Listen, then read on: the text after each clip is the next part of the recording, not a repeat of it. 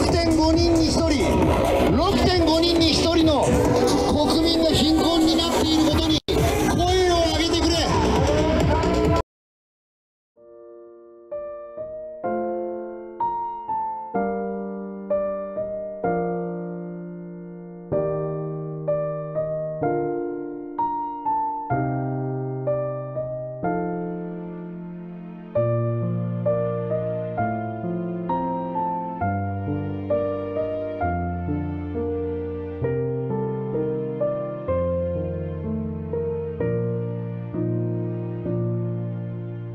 本当の愛国心というのは、国や政府を無批判に素晴らしいっていうことですか？